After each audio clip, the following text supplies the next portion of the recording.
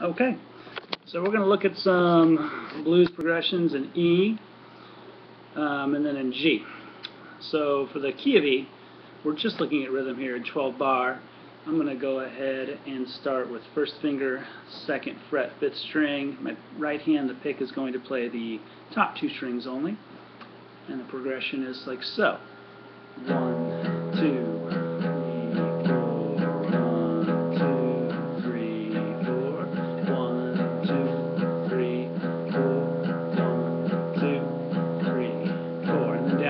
string for both the pick and the fingers. Now we're playing the fifth and fourth strings. Now we go back,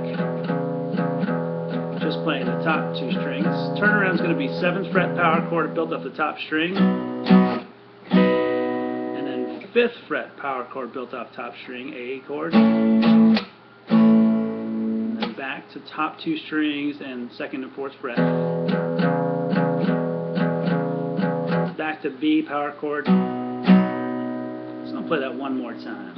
So we've got top two strings and second and fourth fret here on the A string. Three, four.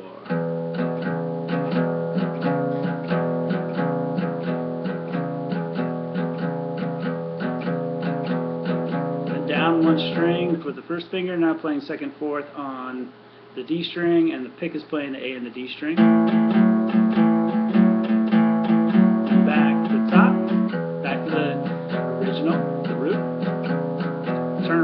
Seventh fret, B string, fifth fret, A string, and then back to the E, and then back to conclude, seventh fret, B string. Now, if we go into the key of G, it's a little bit different. Um, we are going to be playing with the anchor, this first finger is going to be on the third fret top string, playing the actual G note and then your ring finger goes over to the fifth fret of the A string playing a D. And your pick still only plays the top two strings, but the difference is, is we're going to be stretching, keeping these two here, and then bringing the pinky over to the seventh fret of the A string to play the blues progression. So it's going to go, so the movement is going to be ring finger and pinky going from fifth fret to seventh fret.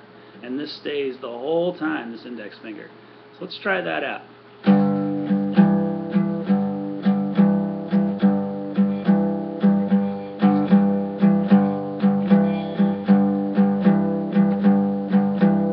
And then when we go to the four, that was the one, we're going to bring everything down one string but staying on the same frets. Same movement with the ring finger and the pinky. Then we go back up to the one,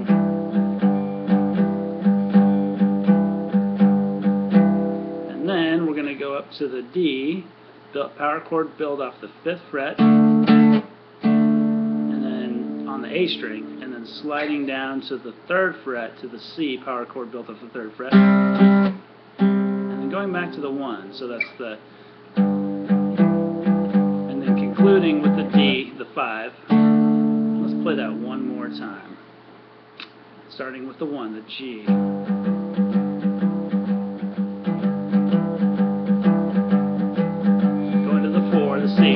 one string for each finger, same frets, back to the 1G. Fifth fret D, built off the A string, C, 1, back to the D. Now, of course, that shape can be put on any fret to change the key. For example, we can go up to the 5th fret and create the key of A with the exact same pattern, just not the same frets. So if we start on A, that's your 1 is now moving from the 7th to 9th fret. Go down one string to the D, 4, back to the 1 which is A. Again, pinky just moving, and then we're going to go up to the E, the 7th fret, which is the 5, 4 D, and then back to A. Let's go ahead and just give it a little close-up and try that one more time. So built off of the 5th fret here, um, we're going to move ring finger to pinky from 7th to ninth fret.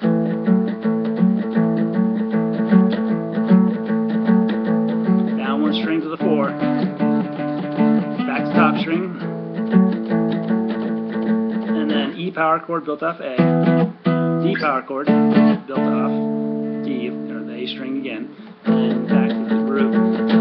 And that's three different keys.